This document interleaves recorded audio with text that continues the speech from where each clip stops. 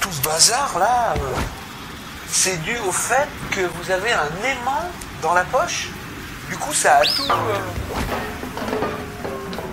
oh, c'est drôle